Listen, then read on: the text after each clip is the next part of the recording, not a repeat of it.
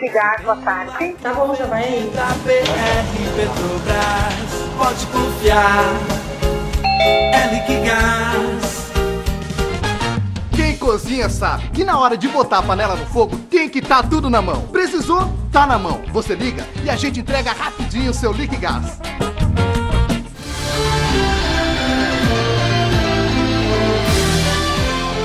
Os moradores da localidade do Butiá, no interior de Itape, solicitaram, através de pedido de providência assinado por dois vereadores do município, a melhoria no abastecimento de água na localidade.